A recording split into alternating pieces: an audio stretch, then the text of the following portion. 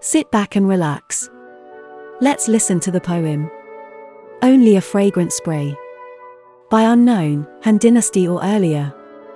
Ah, Ami, the day you left me was full of weary hours. But the tree neath which we parted was rich with leaves and flowers. And from its fragrant branches, I plucked a tiny spray and hid it in my bosom.